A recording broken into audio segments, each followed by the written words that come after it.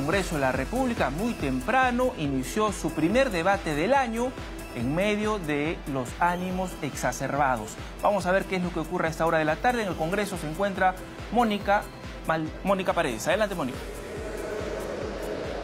¿Cómo estás, Omar? Buenas tardes. Bueno, el Pleno se ha suspendido por falta de eh, quórum. Hay que señalar que los congresistas de la bancada de Fuerza Popular se retiraron del eh, Pleno porque hubo un intercambio de palabras. El eh, congresista ah, Alberto de Belaunde los había acusado de tener un pacto oh, con la impunidad. El congresista Luz Salgado le dije que por favor retirara la palabra, pero ahí vinieron estos cruces de palabras y la Fuerza Popular optó por retirar retirarse. Esta discusión en el Pleno del Congreso ha sido calificado por el propio presidente del Congreso como un bochornoso espectáculo. Vamos a ver parte, un extracto de lo que ha pasado en horas de la mañana en el Pleno del Congreso, Omar.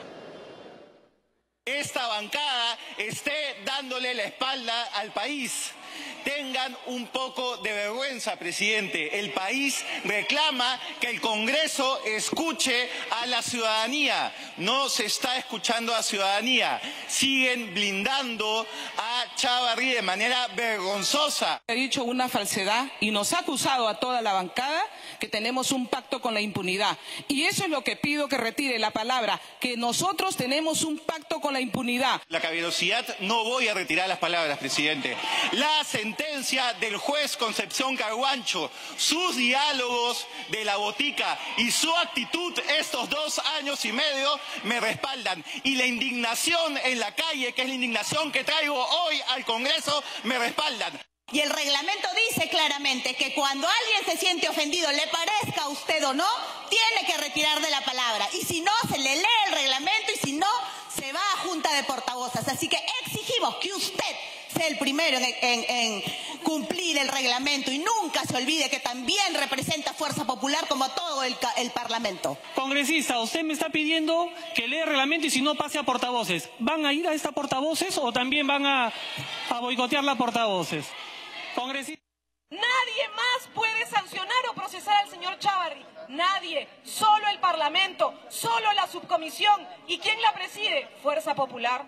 ¿Y qué decidió Fuerza Popular? Que no verían los casos y decidieron que no lo iban a hacer, sabiendo que nadie más lo puede hacer. ¿Eso cómo se llama? ¿Eso qué cosa se llama? Eso se llama, como lo dice la ciudadanía, un pacto con impunidad. No quisieron ver el caso en la subcomisión. Hemos vuelto a presentar otra acusación el Nuevo Perú la ha vuelto a porque sí creemos que el proceso adecuado es a través de la subcomisión. Pero necesitamos, presidente, que hoy día, hoy día, usted tome acá en este Parlamento la decisión de reestructurar las comisiones. Esas comisiones requieren que los nuevos integrantes estén. Fuerza Popular no puede seguir teniendo el mismo peso que tenía en esa subcomisión, presidente, y ha bloqueado, bloqueado la posibilidad de la investigación. Lo que hemos hecho frente al agravio recibido por parte del congresista Alberto de Belaunde, que desaforadamente nos gritaba y nos insultaba, porque cuando ellos gritan, los dejan que continúen. Cuando nosotros protestamos, ahí mismo se hacen las víctimas, como siempre. Nos ha insultado y nos ha dicho que todos nosotros tenemos un pacto de impunidad para poder avalar al fiscal de la Nación. Le hemos dicho y le hemos pedido de buenas maneras ante el presidente del Congreso que retire esas frases ofensivas. Lo normal es que el presidente del Congreso le pida que retire. Bueno, cumplió con pedirle, pero no retiró y dijo que se ratificaba en eso.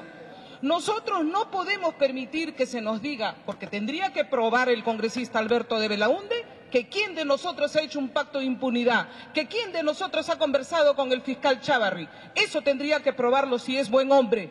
Pero lamentablemente ha seguido insistiendo en esa falsa acusación para cada uno de nosotros y nos sentimos agraviados.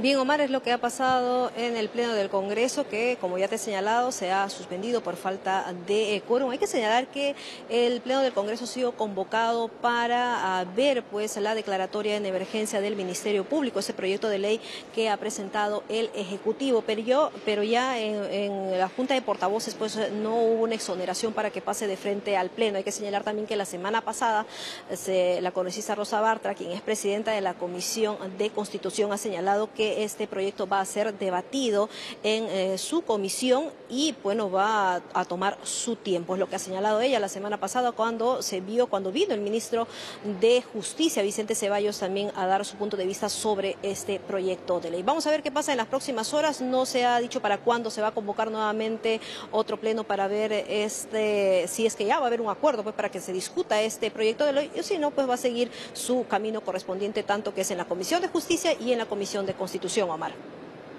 Bien, Mónica, bueno, eso es lo que se ha generado entonces en el primer pleno del año 2019, ¿no? Expresiones de discusión, pleitos entre congresistas de Fuerza Popular y directamente con el presidente de este poder del Estado, Daniel Salaverry. Aunque todos pensábamos que no eh, ameritaría mayor discusión, ¿no? Porque Fuerza Popular a través del vocero eh, Carlos Tubino dijo que eh, estaban a favor de las investigaciones y que se iba a priorizar las acusaciones contra el fiscal de la Nación, Pedro Chávarri. ¿no? Finalmente parece que hicieron algo distinto.